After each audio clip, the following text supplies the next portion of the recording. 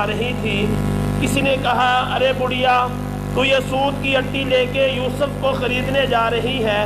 یوسف علیہ السلام کے خریدار سونا، چاندی، ہیرے، جواہرات وہ بڑھیا نے جو جواب دیا تھا، وہ کہنے لگی، مجھے بھی پتا ہے کہ میں اس سود کی اٹی سے یوسف علیہ السلام کو خرید نہیں سکتی۔ لیکن کم از کم کل قیامت کے دن جب یوسف علیہ السلام کے خریداروں کی فہرست لگے گی تو کہیں نہ کہیں میرا بھی نام آ جائے گا۔ دوستو، حق تو یہ تھا، ہم اپنی جان، اپنا تن، من، دن، اپنی اولاد، سب کچھ نبی کی ذات، نبی کی حرمت، نبی کی عزت، نبی کی ناموس پہ قربان کر دے لیکن اس پرفتن دور کے اندر ہمارا حال اس بڑیا جیسا ہی ہے کہ کل قیامت کے دن جب تحفظ خط پہ تحفظ خط نبوت کے اس سپاہ سالار، سب سے پہلے سپاہ سالار سیدنا صدیق اکبر رضی اللہ تعالی عنہ ہوں گے۔ اس لشکر کے اندر کسی نہ کسی صف میں ہمارا بھی نام آ گیا تو ہماری نجات ہو جائے گی۔ اب میں بلا تاخیر دعوت سخن دوں گا۔ امیر جمعیت علماء اسلام سرگودا، جناب حضرت مولانا مفتی محمد شاہد مسعود صاحب کو وہ تشریف لائیں اور اپنے خیالات کا اظہار فرمائیں۔ ساتھ تھوڑا سا قریب قریب ہو جائیں آنے والے ساتھیوں کو مشکل ہو رہی ہے تھوڑا سا قریب قریب ہو جائیں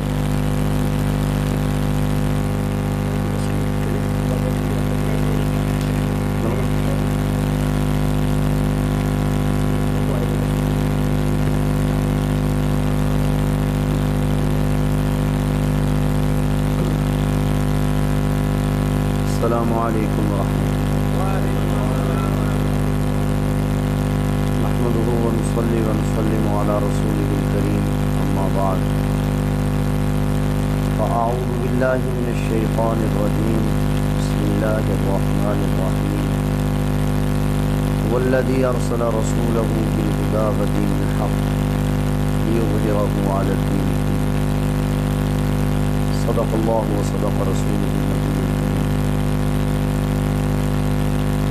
معزز علماء کرام اور عالمی مجلس صاحب کی ختم نبوت کے غیوں کارکنوں سب سے پہلے میں آپ سب حضرات کو اپنی سالانہ ختم نبوت کانفرنس کی کامیابی پر دل کی اتھا گہرائیوں سے مبارکباد پیش کرتا ہوں الحمدللہ، ہماری اس ضلع کی ایک تاریخ اس وقت میں اگرچہ مفتی احمد سعید صاحب، قاری عبدالسمی صاحب، قاری شہاب الدین صاحب ہمارے اکابر اس دنیا میں نہیں رہے،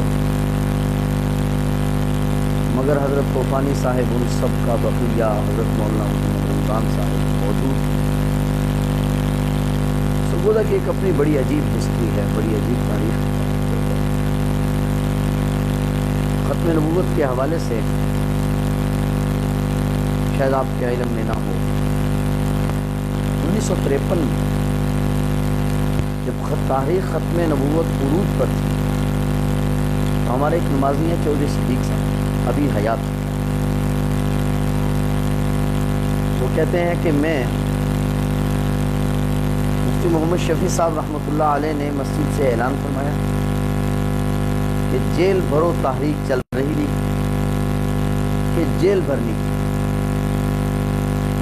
کہتے ہیں کہ میں بھی جیل جانے کے لیے گھر سے تیار ہو کے کپڑے وغیرہ پہن کر میں پہنچا۔ وہ ابھی حیات کہتے ہیں میں جب جیل کے دروازے پر پہنچا تو گیارہ بجے دن میں جیل میں جگہ نہیں رہی تھی۔ انہوں نے مجھے واپس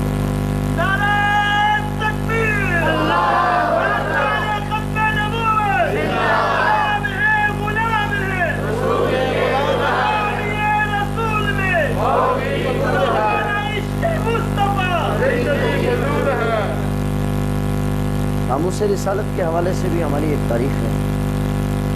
اور نفاذ شریعت کے حوالے سے بھی ہمارے ضلع کی ایک تاریخ ہے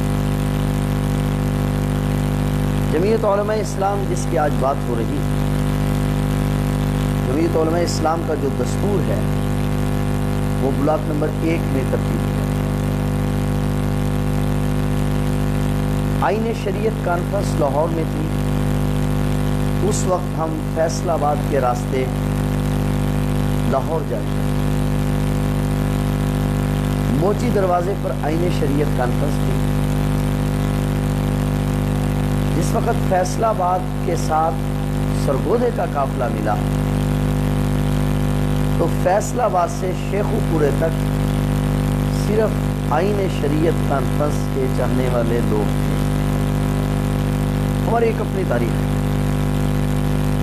تو اس تاریخ کو باقی رکھنے کا ذریعہ آج حضرت مولانا طوفانی صاحب ہیں، مولانا نور محمد صاحب ہیں محمد اللہ یوبی صاحب ہیں۔ ہمارے یہ حضرات،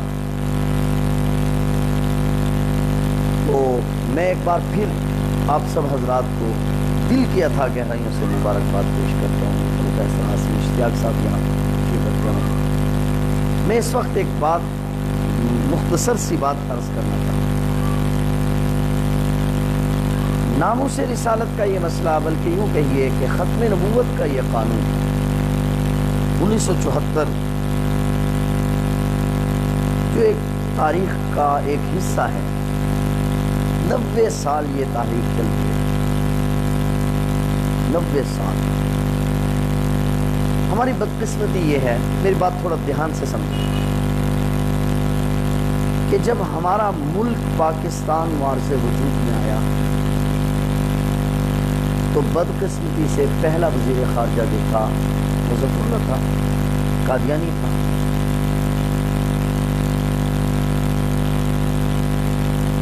ان حضرات نے کوشش کی اور ملک کو قادیانی اسٹیٹ بنانے کی جب وہ جہد شروع کی۔ ابھی مولانا صاحب فرما رہے تھے، وہ لوگ اپنی کوشش کو جاری رکھے ہوئے ہیں، میں اس کے صرف ایک جھلک آپ کو دکھانا چاہتا ہوں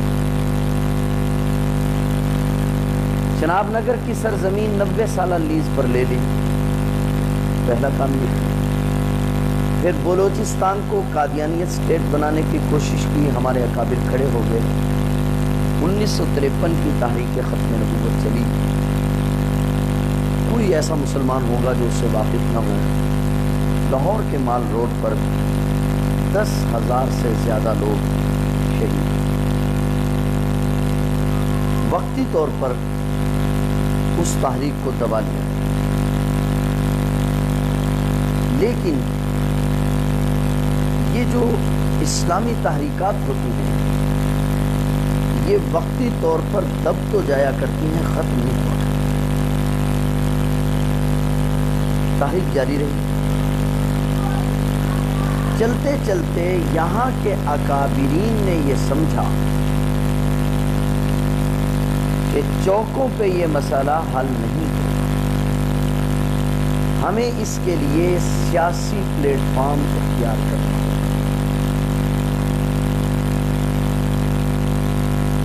حضرت مولانا زاہد الراشدی صاحب کو آپ لوگ جانتے ہیں؟ جی؟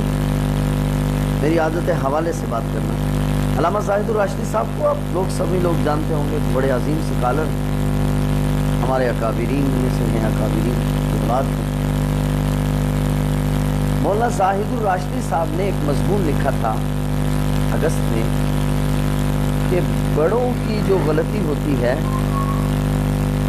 بڑوں سے جو بھول ہو جائے تو صدیوں اس کی سزا ملتی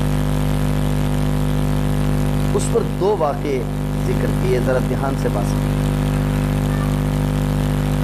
ایک واقعہ یہ ذکر کیا کہ ایک زمانہ تھا جب بر صغیر میں مسلمانوں کی حکومت تھی۔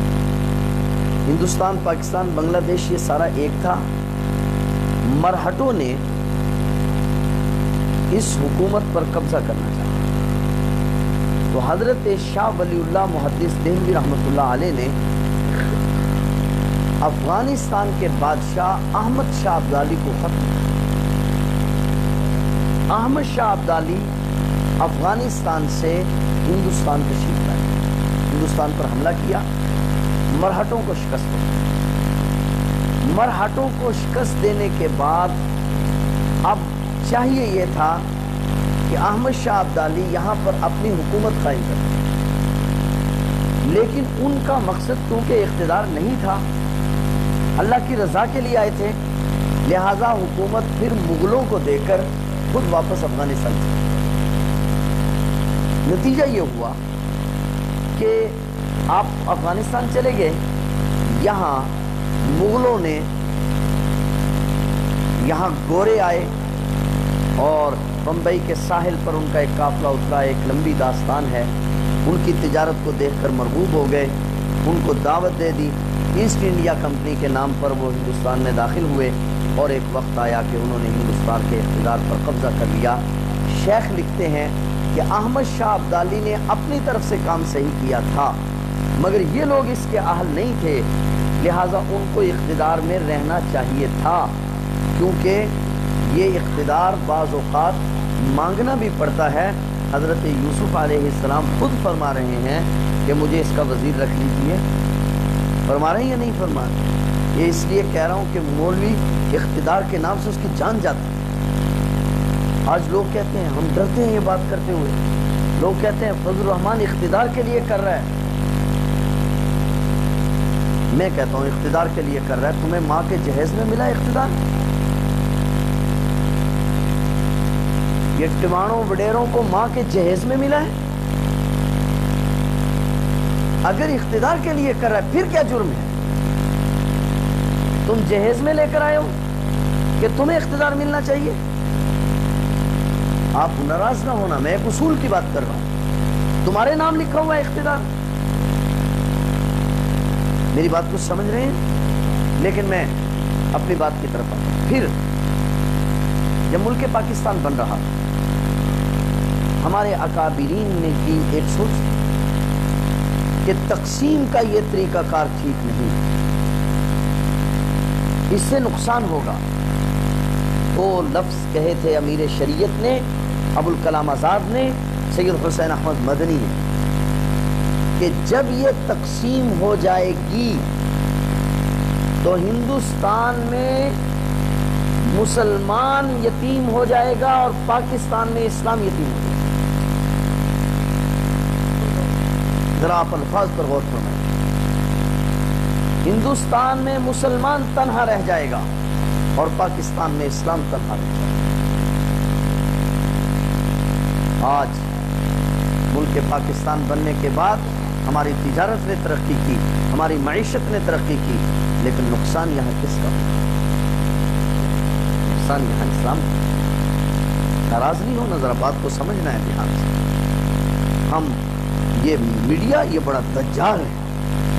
جو لوگوں کی ذہن سازی کر دے اس زمانے کا سب سے بڑا دجال، اس زمانے کا مغربی میڈیا ہے۔ میں میں اپنی بات پر باہر سے زیادہ ٹھوس نہ لگے لیکن اس وقت میڈیا میرا موضوع نہیں۔ میں ایک خاص موڑ پر آپ کو لے جانا چاہتا ہوں۔ ملک پاکستان بن رہا تھا۔ اکابرین میں سے بعض حضرات نے مخالفت کی ایک اصول کی بنیاد۔ اور ایک جملہ اور۔ ابوالکلام آزاد نے ایک جملہ کہا تھا۔ آج جب میں کشمیر کو دیکھتا ہوں، تو مجھے جملہ مجھے بار بار یاد آتا ہے۔ ابوالکلام آزاد نے کہا تھا، تم ملک بنا لو۔ تم ملک بنا لو گے دنیا کے اسلامی ممالک میں سے کوئی ملک تمہاری حمایت نہیں کر سکتا۔ بات سمجھ رہے ہیں؟ کوئی اسلامی ملک تمہاری مدد نہیں کر سکے گا۔ آج کشمیر کے موقع پر قطر کہاں کھڑا ہے؟ سعودیہ کہاں کھڑا ہے؟ اسلامی ممالک کہاں کھڑے؟ ایک وقت آئے گا دنیا کے اسلامی ملک تمہاری مدد نہیں کر سکے یہ ابوالکلام آزاد نے آج سے ستر سال پہلے کہا آج لفظ و لفظ سچا ہو رہا ہے۔ ذرا میری باتوں تمنا مختصر سی ہے تمہید طولانی۔ میں ایک موضوع پر جانے کے لیے آپ کو یہ بات عرض کر رہا ہوں۔ ملک پاکستان بن گیا، دوسرے اکابرین جو تھے وہ پاکستان بنانے کے حق میں تھے۔ علامہ شیخ الاسلام والمسلمین، متکلم اسلام، علامہ شبیر احمد عثمانی رحمہ اللہ تعالی۔ علامہ شبیر احمد عثمانی نے اس کے لیے جد و جہد کی، علامہ ظفر احمد عثمانی نے جد و جہد کی اور پانچ سو علماء کے ساتھ قائد اعظم کا ساتھ دیا۔ لیکن جب پاکستان بن گیا تو ان حضرات نے سمجھا کہ ہم اقتدار کے لیے تو نہیں آئے تھے۔ ہمارا مقصود اقتدار تو نہیں تھا۔ جا کر حدیث پڑھانے لگ گئے اپنی خانقاہوں میں واپس چلے گئے۔ نتیجہ وہی ہوا جو احمد شاہ ابدالی کے یہاں سے چلے جانے کے بعد ہوا تھا، کہ اقتدار پر وڈیروں کا اور بے دینوں کا، سیکولروں کا، اور کیمونسٹوں کا اور قادیانیوں کا قبضہ۔ اس قبضے کا نتیجہ انیس سو تریپن میں ظاہر ہوا کہ دس ہزار سے زائد مسلمانوں کو لاہور کے مال روڈ پر ذبح کر گو! اس میں تو کوئی دوسری رائے نہیں کہ وہ کامیاب اور کامران ہو گئے جو حضور علیہ السلام کے عزت و ناموس پر کٹ گئے۔ اس میں تو کوئی دوسری رائے نہیں۔ لیکن جو ہم چاہتے تھے تحریک چلانے کا جو مقصد تھا، وہ حاصل نہ ہو سکتا مسلمان کیونکہ بے وقوف اور پاگل نہیں ہوتا کہ بس جس نے لگایا اور اس کے ساتھ لگ گیا، ہمارے اکابرین نے اس کو بیٹھ کر سوچا اور یہ فیصلہ کیا کہ پاکستان کی سیاست سے آؤٹ ہونا یہ ہمارے لیے اچھا نہیں، اس سے امت کو نقصان ہوگا۔ لہٰذا انیس سو ستر میں پاکستان کی سیاست میں آنے کا فیصلہ کیا۔ تہتر کا آئین بنا اور پھر چوہتر میں ختم نبوت کا مسئلہ۔ کسی درجے میں حل ہوا۔ اب ذرا غور کرو۔ جب پاکستان کی نیشنل اسمبلی نے، ذرا بات میری دھیان سے سمجھی جب پاکستان کی نیشنل اسمبلی نے قادیانیوں کو غیر مسلم اقلیت قرار دیا تو ہم ایک درجے میں سست پڑ گئے کہ کام ہو گیا۔ لیکن قادیانیوں نے کیا کیا؟ جنیوا کمیشن میں درخواست ہیومن رائٹس۔ جنیوا کمیشن میں درخواست دی کہ ہمارے حقوق پامال ہو رہے ہیں۔ اور ہماری بدقسمتی یہ تھی کہ اس وقت جنیوا کمیشن میں ہمارے ملک کا جو سفیر تھا وہ قادیانی تھا، اس خنزیر نے مقدمہ ہار دیا۔ اور یہ بات طے ہو گئی جنیوا کمیشن میں کہ قادیانیوں پر ملک پاکستان میں ظلم ہو رہا اور رہو اقتدار سے دور۔ اور میں کرام اقتدار سے دور رہو۔ ان گنڈوں اور بدماشوں کے اقتدار دو۔ تاکہ تمہاری سو سو سال کی محنت کو ایک لمحے میں پانی پھیریں۔ خدا را میری بات پر رات کو جا کر غور کر لینا۔ اس اقتدار دینے کا نتیجہ یہ ہوا کہ اس خبیص نے وہاں مقدمہ ہار گیا اور دنیا میں پھر یہ لندن میں مقدمہ چلا، پھر یہ امریکہ میں مقدمہ چلا، چنانچہ پوری دنیا کفر نے یہ بات طے کر دی کہ پاکستان میں قادیانیوں پر ظلم ہو رہا ہے اور آج تک وہ اس بات پر کھڑے ہیں، اسے خبیص سفیر کی وجہ سے جو قادیانی تھا کیونکہ مولوی کے لیے تو اقتدار اچھی چیز نہیں ہے۔ اگر مولوی اس کے لیے پڑھے گا، محنت کرے گا پولیٹیکل میں کوشش کرے گا، وہ تو اقتدار کا رسیہ ہے، وہ تو اقتدار چاہتا ہے۔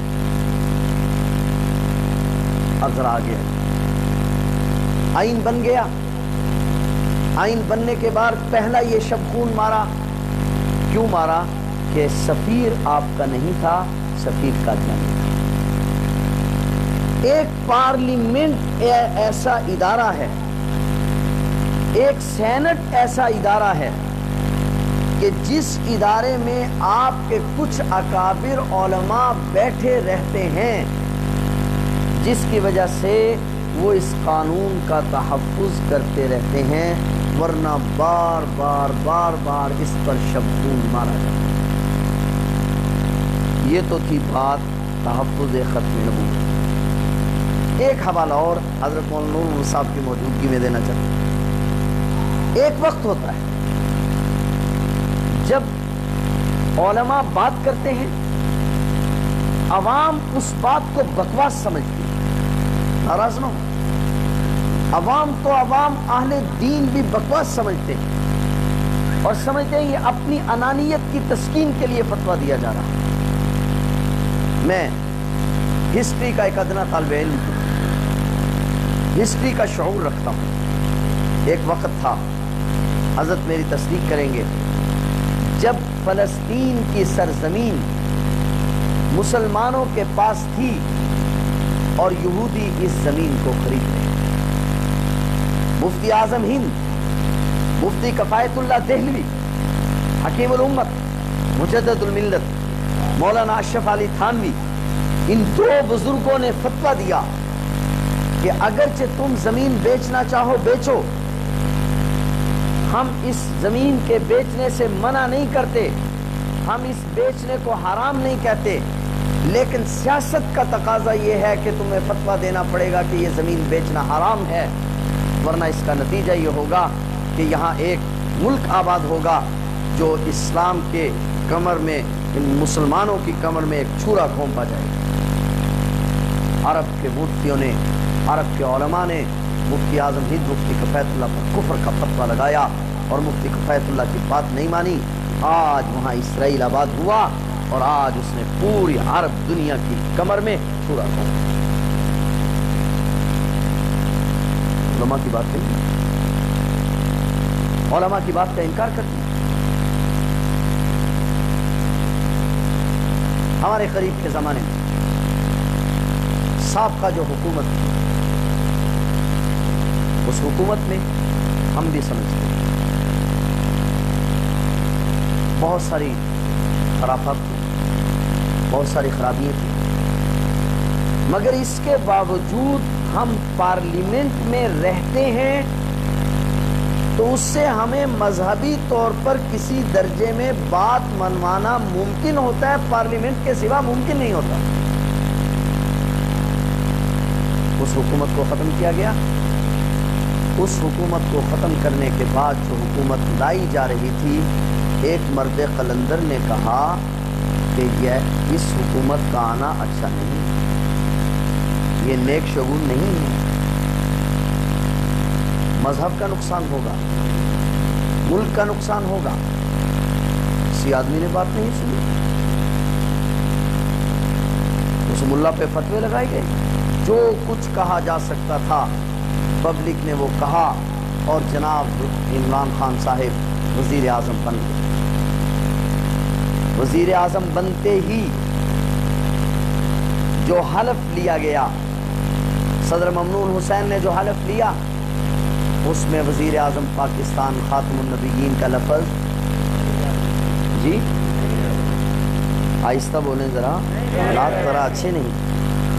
خاتم النبیین کا لفظ تین تین بار کہلوایا گیا۔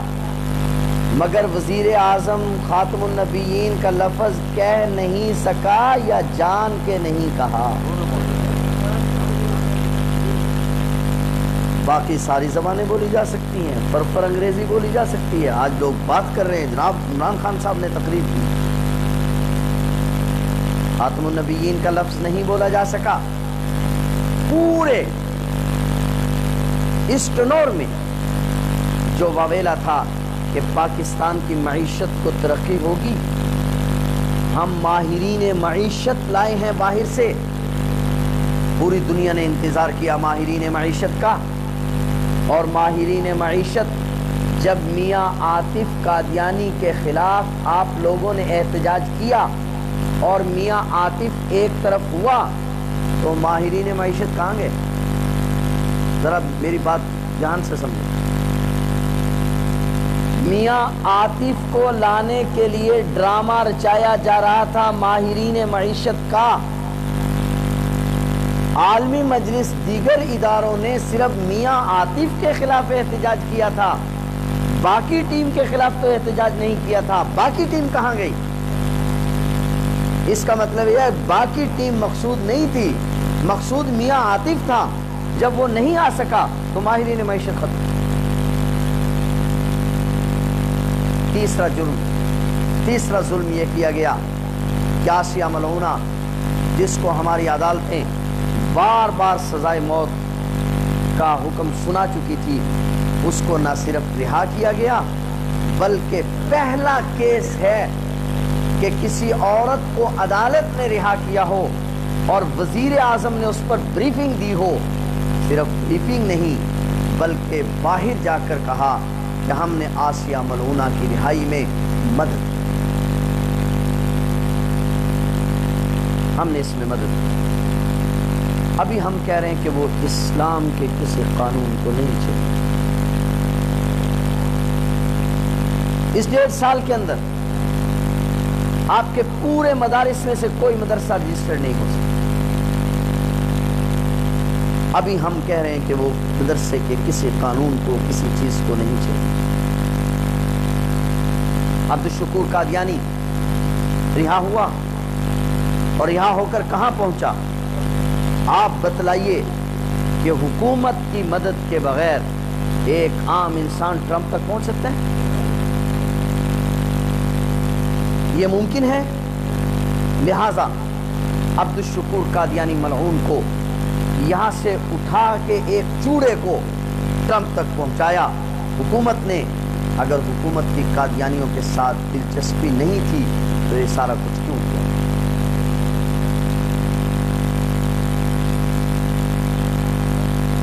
یہ کشمیر، جس کا آج قضیہ چل رہا ہے، اس کو بھی ذرا دیکھیں۔ آپ کو معلوم ہے کہ کشمیر کا یہ علاقہ متنازع کیسے بنا؟ ظفر اللہ خان جو خبیص تھا، پاکستان کا پہلا وزیر خارجہ تھا۔ اس نے گرداسپور کو پاکستان کی بجائے ہندوستان کے ساتھ ملا دیا اور کہا کہ یہاں کے مسلمان ہندوستان کے ساتھ رہنا چاہتے ہیں۔ یہاں قادیانیوں کی آبادی زیادہ تھی، وہ وہاں رہنا چاہتے ہیں۔ وہ ہندوستان کے ساتھ مل گیا، جس کی وجہ سے ہندوستان سے کشمیر میں آنے کا ایک ہی راستہ تھا جغرافیائی طور پر۔ اور وہ گرداسپور تھا انڈین آرمی دو مہینے پاکستان بنے کو نہیں گزرے تھے کہ وہاں سے کشمیر میں داخل ہو گئی اور انہوں نے کشمیر پر قبضہ کر لیا۔ اللہ بھلا کرے ان پگڑی والوں کا، ان داڑھی والوں کا۔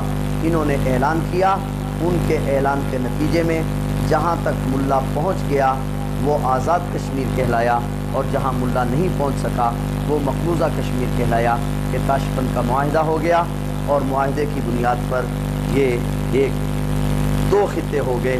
ایک خطہ مقبوضہ کشمیر کہلاتا ہے اور ایک خطہ آزاد کشمیر۔ جو خطہ مقبوضہ کشمیر تھا، اب اس خطے کو انڈیا کا حصہ بنا لیا گیا۔ اس وزیر اعظم نے، جس کے بارے میں ہمارے وزیر اعظم نے کہا تھا کہ جب مودی آ جائے گا تو مودی کے آنے پر کشمیر کا مسئلہ حل ہو جائے گا۔ ہمارے وزیر اعظم نے کہا تھا، اگر میں بھول نہیں رہا اور آپ کو یاد ہے کہ ٹرمپ آ جائے گا تو مسئلہ کشمیر حل ہو جائے گا۔ مودی بھی آ گیا، ٹرمپ بھی آ گیا اور مسئلہ کشمیر بھی۔ مسئلہ کشمیر کا جو حل چاہتے تھے، وہ حل ہو گیا۔ وہ حل اس کو انڈیا کے ساتھ ملانا تھا اور وہ حل ہو گیا۔ اب ہونے کیا جا رہا ہے؟ روہنگیا کے مسلمان برما ان کی داستانیں آپ سن رہے ہیں؟ پڑھتے ہیں آپ ان کی داستانیں؟ سنتے ہوں گے آپ ان کی داستانیں؟ وہاں مسئلہ کیا ہے؟ یہی وہ مسئلہ ہے جو کشمیر میں ہونے جا رہا برما کہتے ہیں یہ ہمارا نہیں ہے۔ انڈیا کہتے ہیں یہ ہمارا حصہ نہیں ہے۔ انڈیا کہتا ہے یہ ملک ہمارا ہے۔ بنگلہ دیش والے کہتے ہیں اس کا ہم سے کوئی تعلق نہیں۔ لہٰذا روہنگیا کے مسلمانوں کے بارے میں انڈیا کا موقف ہے، یہ ہمارا حصہ ہے، چائنا کا موقف ہے، یہ ہمارا حصہ ہے۔ اور یہاں مسلمانوں کی کوئی سرزمین نہیں۔ کل مقبوضہ کشمیر میں بھی یہ ہونے جا رہا ہے کہ کل کہا جائے گا، انڈیا کہے گا یہ ہمارا حصہ ہے۔ پاکستان کا اس کے ساتھ کوئی تعلق نہیں ہے۔ لہٰذا وہاں سے کشمیر کے مسلمانوں کو نکالا جائے گا اور جس طرح آج برما کے مسلمان بیس بیس ہزار لوگ کشتیوں میں بٹھائے جاتے ہیں اور کشتیوں میں بٹھا کر ان کشتیوں کا رابطہ منقطع کر دیا جاتا ہے، وہ کشتیاں گھوم گھوم کر سمندر میں غرق ہو جاتی ہیں۔ یہ ایک واقعہ نہیں ہے، سینکڑوں واقعات ہیں۔ کل کشمیر میں یہ ہونے جا رہا ہے۔ اس صورتحال میں اب فیصلہ ہم پر ہے کہ ابھی بھی ہمیں سیاست میں حصہ لینا چاہیے یا نہیں لینا چاہیے؟ یا اس پروگرام کو ابھی بھی یہ کہنا چاہیے، یہ تو اقتدار کی خاطر ہے، یہ تو سیاست کی خاطر ہے۔ تو اس کے لیے ہمارے اکابرین نے فیصلہ کیا ہے کہ اب اس حکومت کو مزید وقت نہ دیا جائے۔ اس حکومت کو مزید وقت دیا جائے گا تو اور کوئی کٹا کھلے گا، کوئی اور مسئلہ بنے گا۔ معیشت کا بیڑا غرق ہو چکا ہے، تاجر پیٹ رہا ہے، دنیا میں برا حال ہے، میں اس طرف نہیں جا رہا۔ اس صورتحال میں ہماری جماعت نے ایک فیصلہ کیا ہے اور آپ دیکھیں۔ وقت نماز کا ہو گیا ہے۔ میں آپ اندازہ لگائیں کہ اس ساری جمہوری قوتیں اس وقت گھٹنے ٹیک گئی ہیں، لیکن اللہ تعالیٰ نے دین کی برکت سے ایمان والوں کو یہ جرت اور ہمت عطا فرمائی ہے کہ وہ اس ظلم و جبر کے سامنے سیسا پلائی دیوار بن گئے ہیں اور آج دنیا لرز رہی ہے۔ آج پوری دنیا میں آپ کا ایک نام ہے۔ پوری دنیا کے پاس ایسا لیڈر موجود نہیں ہے۔ پوری اسلامی دنیا کے پاس ایسا آدمی موجود نہیں ہے جیسا آپ کے پاس موجود ہے۔ اس پر اللہ تعالیٰ کا شکر ادا کریں۔ اور ستائیس اکتوبر کی جی؟ ہم آپ کو اب بھی دعوت دے رہے ہیں۔ پھر بھی دعوت دینے کے لیے حاضر ہوں گے۔ ہمارے اکابرین آپ کے ساتھ ہیں۔ اللہ تبارک و تعالیٰ ہم سب کو عمل کی توفیق عطا فرمائے۔ واقع دعوا ہوں